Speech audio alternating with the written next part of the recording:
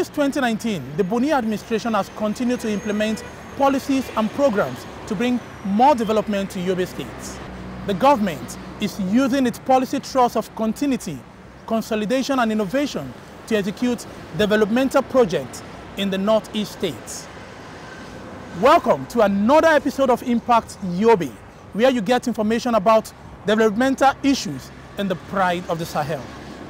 My name is Michael Oshoma.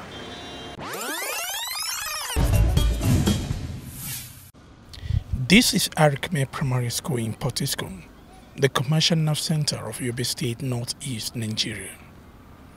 Arikime Primary School hosts about 19,000 pupils, making it the most populated primary school in West Africa.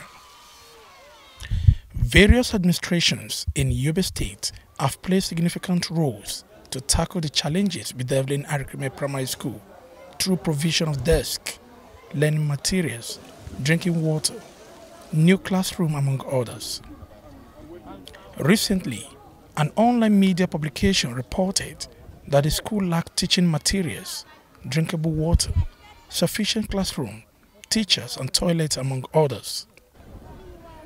Impact Yobe Crew visited Arikime Primary School, which was established in 1974 to assess the facilities. The administration of Governor Mai Mala Buni has invested heavily in the education sector across the states.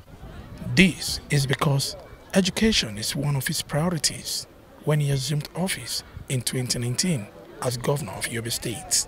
Before the administration of Governor Mai Mala Buni, each classroom at the school has about 350 pupils. The conjunction of students in the classes did not go down well with Governor Buni's ideology for education. As part of measures to decongest the classes and provide comfortable learning environment for the purpose. the administration constructed additional 60 classrooms at the school. The effort of the state government under the leadership of Maimala Buni was so significant to the extent that we may say he has done greatly to us. Under his tenure, we were being able to get over 60 classrooms built and furnished. The executive chairman of the Yobe State Basic Education Board, Professor Musa Alibi, and some education officers visited Arikime Primary School for inspection and supervision. Speaking with Impact Yobe crew, Professor Alibi described the online publication about the school as pure mischief. About uh, two, three years ago, we had uh, only very few classes. And that means most of the students take their lessons under the tree or in temporary sheds. So this government of uh, Maimala uh, went into action and decided to intervene in so many ways. Between that time and this very time, which is about three years now, we have built over 60 classes, as you have seen yourselves. Some of the classes are yet to be occupied because we don't have, the contractors have not finished their, their work in the sense that they have not supplied the required uh, tables and chairs. But we have enough number of classes now to accommodate the large number of students we have, which is uh, uh, direct opposite of what we what we met uh, on ground when we came in. The chairman of Potiskum local government area, Salisu Mutari, attributed the publication to handiwork of the opposition and enemies of the state. I'm inviting them to go to that school, to invite the press people along with them to visit that school. And please, the opposition should let me know the day they are going there. So I want them to come to that school. I'll be there because it is not against saying. It's something physical. The classes are there. The toilets are there. The security is there. The teachers are there. Today, I'm proud to tell you, before, that school have uh, about, in some classes, you find over 300 students in a particular classroom. But today, the maximum you get in a classroom is just 80, 90, maybe 100. There, there is a classroom that has only one, 45 students in a particular classroom. So what they were saying is just mere fabrication and uh, they are just looking for things to, but they should just go there with their cameras Uh, make it live if they want. The Buni administration also constructed additional boreholes in the school to meet the demand of the growing population of the pupils at Arikime School. The pupils and teachers are enjoying the water facility provided in the school. You have seen it. Seeing is believing.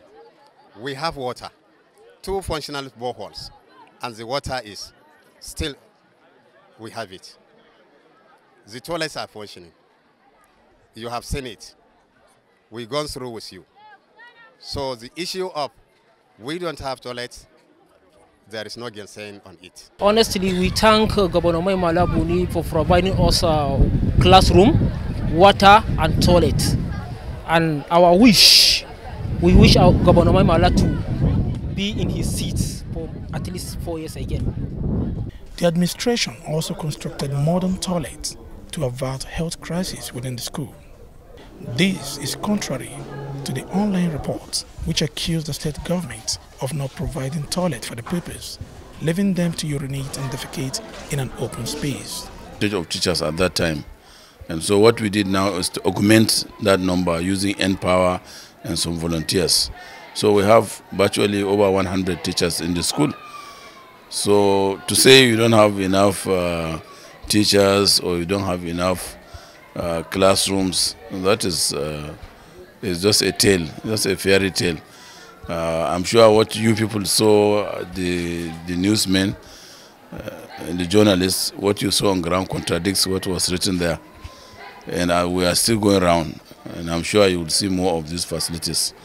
Some of the students commended Governor Buni-led administration for providing them with necessary facilities to learn. Based on the population of pupils at Arikime, it's equivalent to 20 primary schools when divided. The SUBEB chairman admits that though there is more to be done at the school, critics should not dismiss interventions made by Buni administration. Not that we have solved the entire problems. These are problems that have built up for a decade. So we are just coming in and you can see what we have done what this government, government of Mai Mala Buni has done in just a span of three years. So we hope in the next two to three years, we shall be able to solve this problem. Right now, as I'm talking to you, we are building an alternative school, which we are going to call Alikime 2. This is one, we call it 2. By the time we finish that structure, we will decongest. We will take like a quarter or one third of the school and move them to the Alikime 2. By the time you come here, you will see a sizable number of, of pupils in the class. We went to a class now. In one of the class, how much did you count yourself? 45. Even in a conventional school, it, it won't be better than that.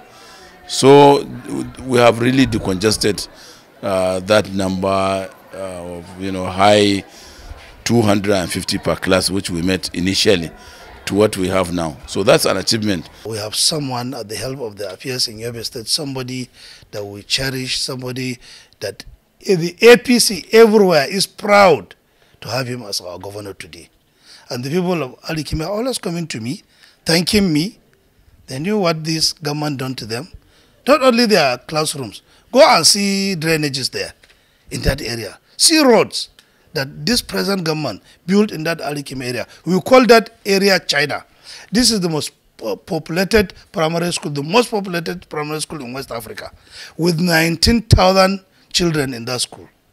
You can imagine. But today, come and see it yourself. It's not a matter of uh, saying or just going to social media to write what you want to write. Come with a camera. Make it live if you want.